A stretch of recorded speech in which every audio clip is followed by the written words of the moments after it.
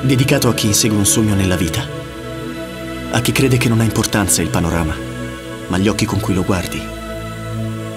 A chi non si preoccupa del traguardo, ma pensa piuttosto a godersi il viaggio.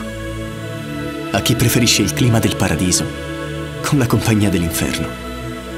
Dedicato a te, uomo libero, che avrai sempre caro il mare. Singita, The Miracle Beach.